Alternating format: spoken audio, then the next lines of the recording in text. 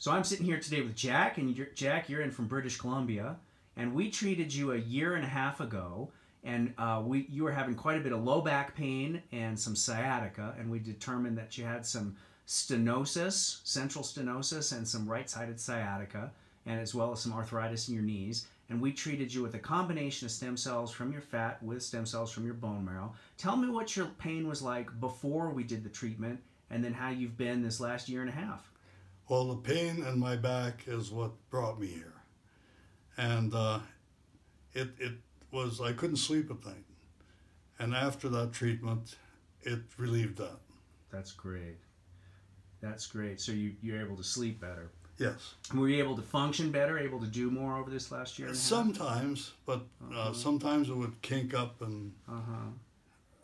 And I'd be hobbling around again. Right. But mostly at a reduction in pain. Head reduction in pain. Great. If you had to pick a percentage improvement in pain, what would you say you had?